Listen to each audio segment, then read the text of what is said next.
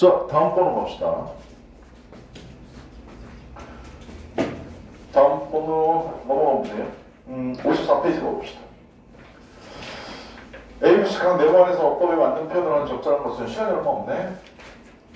오늘 그 얘기하느라 너무 오래 걸렸네. 얘들아, A번호 앞에 게 답이야, 뒤에 게 답이야? 앞에 거. 앞에 게 답이죠. 누구 때문에 그래요? 누구 때문에요? 네. 어, 왜? 사역동사죠. 그죠? 사역동사, 목적어, 동사관형. 그래서 링이 맞는 거고요. 그 다음 B번 넣어봅시다. B번은 앞에 게 답입니까? 뒤에 게 답입니까? 여기 보시면 차이점 알아두셔야죠. 여기 뭐 과거 완료야. 이거는 뭔데? 과거 완료 수동태야. 이해돼서? 즉 능동이냐 수동이냐 물어보는 거야. 이건 시제를 물어보는 게 아니라. 됐니? 그래서 이거는 뭐 능수동을 물어보는 거구나. 이렇게 얘기하는 건데 That's weird because 왜냐면 we stood for an hour 한 시간 기다려서 designated 장소에서 that 그리고 they 그들이 아 that 목적격 관계대명사네요. 됐네? 지금 이것만 보시고 어 이걸로 끝났네? 수동태 써줘야 되는 거네? 라고 착각하시면 안 돼요. 알았죠? 이 대신 목적격 관계대명사라서 이렇게 했던 장소 그들이 지정해 준 지정된 장소 이렇게 되는 거야 선택한 됐냐? 그러니까 뒤에 목적어 없는 게 당연한 거니까 뭐? 요게 답이 되겠네 이해됐어요? 됐냐? 아 그렇게 보시면 될 것 같고 여기서 대인은 사람인데 선택했다 목적 없는데 목적격 관계대명사 목적 없는 거 당연 그래서 능동태 써주는 게 맞고 그 다음 closely closely 그랬어 답은 앞에 거야 뒤에 거야. 여기 앞에 보시면 주어 있잖아요.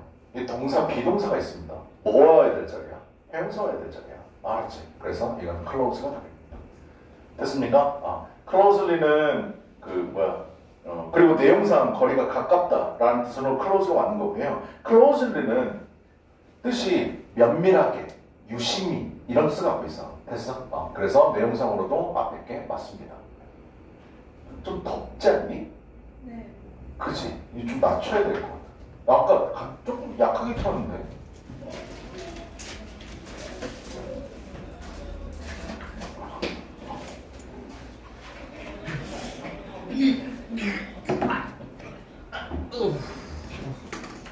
어.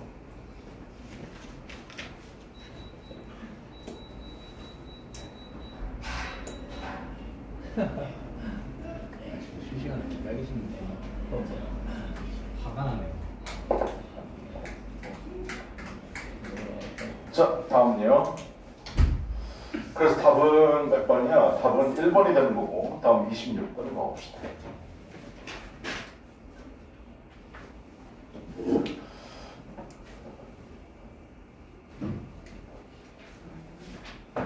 (26번) 보면 (26번) 3번. 3번이 답입니까? 여기요. 여기도 아까 얘기했던 거랑 똑같은 거네요. be, used to, 동사원형 쓸래, ing 쓸래 이거 물어보는 거죠. 그죠? 근데 내가 어떻게 선택, 선택하라고 그랬어? 주어가 사람이면 ing, 주어가 사물이면 투부정사. 됐어요?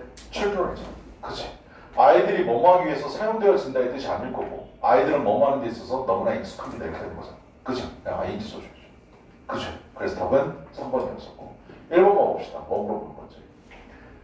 1번은 이치의 밑줄이 있네요. 뭐 물어보는 거지? 대명사의 단복수 물어보는 거죠. 그죠?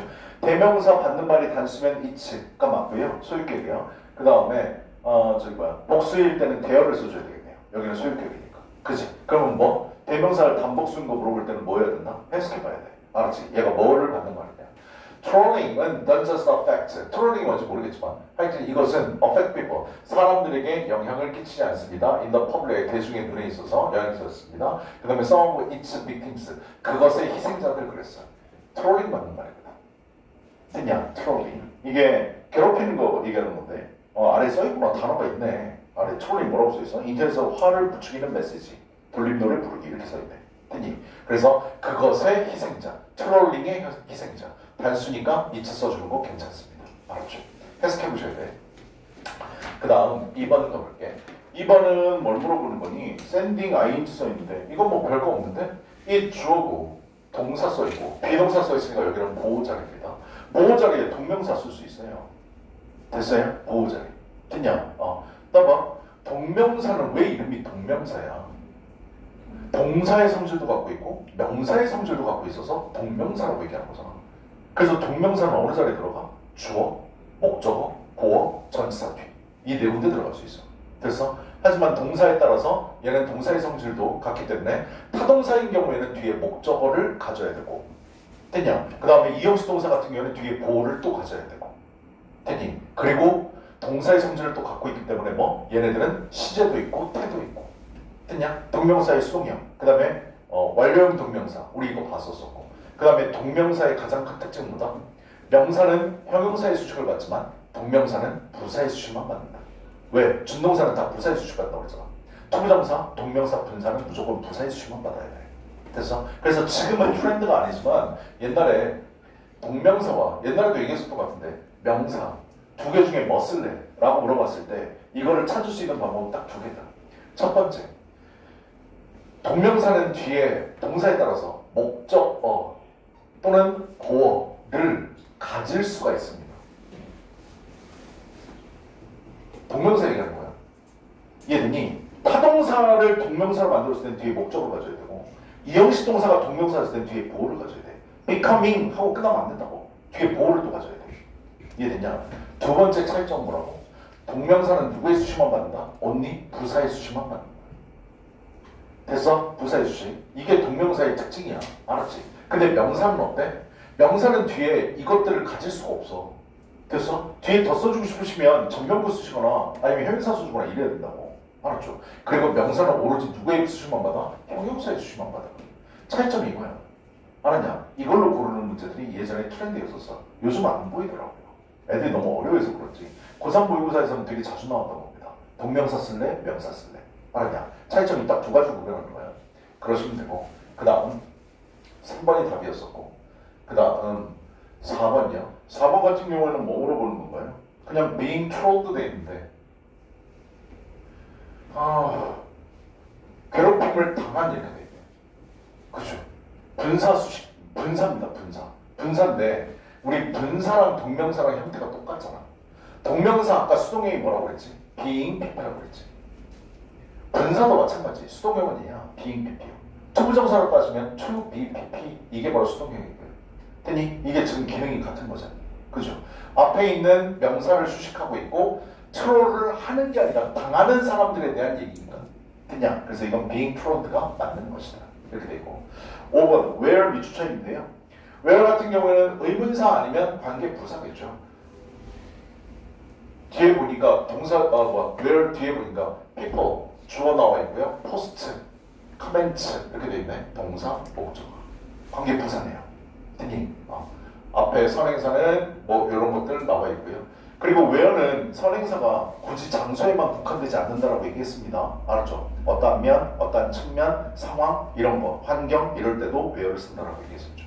그렇게 보시면 되고. 다음 27번. 27번 다음 몇 번입니까? 27번까지 나갑시다. 27번 다음 몇 번이에요? 어, 4번이 답입니다. 앞에 보시면 much라는 비교급 강조가 써 있어요. 됐어요? 그래서 얘는 far를 니네 far의 비교급이 두 개인 줄 아니? 중학교 때 배웠을 텐데 너무 오래돼서 모르죠. far의 비교급은 father와 father가 있죠. 비교급은 두 개입니다. 알았지? 얘는 정말로 길이를 나타낼 때 쓰는 말이고요. 얘는 어, 심미적인 물질적인 게 아니라 어, 정신적인 거 나타낼 때 됐냐? 그거 나타낼 때 쓰는 거거든. 일단 중요한 건 비교급 강조 썼고 여기는 비교급을 써야 되고 여기는 father가 답입니다. 알았죠? father. 1번 가봅시다. 1번은 stable이라는 형용사가 써 있는데 앞에 보니까 remain이라는 동사가 있거든요. remain은 자동사라는 거 잊으시면 안 됩니다. 알았지? remain은 자동사야. 얘는 이런 식으로도 쓰이고 이런 이 형식으로도 쓰입니다. 알았죠? 이 형식으로 쓰이게 되면 부사가 와야 되는 거고요. 이 형식으로 쓰이게 되면 형용사가 와야 되는 게 맞습니다. 근데 내용상 remain stable, 안정적인 상태를 유지하다 이렇게 되는 거거든. 그래서 형용사 보호자리 맞습니다. 됐요? 어. 그 다음 2번은요. 2번 보시면 의문문인데 what purpose this things 이 thing이 제공하는 목적은 무엇입니까? 됐냐? 이거 맞는 것 같아요. 알았죠? 어, 그래서 주어, 동사, 목적어. 동사자리입니다. this means 복수라서 serve에 써온 것도 맞고요. 됐냐? 그 다음 3번요. 3번 같은 경우에는 falling 이라고 써있는데 수식하는 앞에 있는 잎이죠. 얘들아 떨어지는 나뭇잎 이것도 말 되고요. 됐나요? 낙엽 이미 떨어진 거 얘기할 때는 fallen leaf야. 알았어? 두 가지 다 돼. 알았지? 이거 의미상으로 떨어지고 있는 나뭇잎이라고 지금 떨어지고 있는 나뭇잎 얘기하는 거야. 진행을 나타내는 거니까 ing는 됐어? 그래서 내용상으로 맞는지 보시면 되고 5번 가볼게요. 5번 같은 경우에는 keep에 밑줄이 쳐 있는데 help라는 동사는 삼형식으로 쓰이면 to부정사, 오형식으로 쓰이면 목적격 보어자리에 to부정사를 가져야 되지만 삼형식 됐든 오형식 됐든 to부정사 대신에 to를 생략할 수 있다고 배웠어. 됐어? 그래서 help 다음에 여기 to 써도 되고 안 써도 되고 그 다음 keep의 밑줄인데 keep은 다시 준동사로 오형식으로 쓰여가지고 나 racket이 목적어고 stable이 목적격고 틀린 거 없어 보입니다. 알았죠? 이렇게 보시면 될 것 같아요. 오늘 여기까지만 하고요. 어, 시간 1분, 2분 정도 나왔거든요. 다 나오는 모습.